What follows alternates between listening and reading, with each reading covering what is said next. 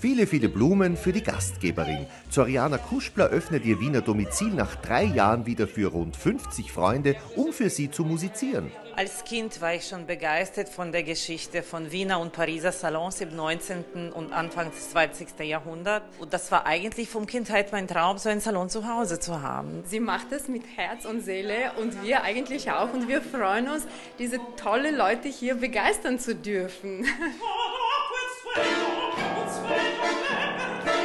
Dieser Salon stand unter dem Motto Lieber Tango. Getanzt wurde zwar nicht, aber auch so kam man einander ziemlich nahe. Ich sehe das als eine sehr emotionale Verbindung mit dem Publikum und es ist ja irgendwie ein Team und äh, ein bisschen andere Atmosphäre vielleicht als bei einem klassischen Konzert. Das ist ein wunderbares Zusammenkommen, Künstler, Freunde, es ist ein tolles Netzwerk und vor allem ist es eine ganz besondere Atmosphäre. Kartenverkauf für diesen Salon gibt es keinen. Man muss schon mit der Dame des Hauses befreundet sein, die deshalb aber noch keine Salondame sein will. Nein, ich bin eine Künstlerin, ich heiße Soriana Kuschbler und äh, unter anderem habe ich auch ein Haus Salon, Salon.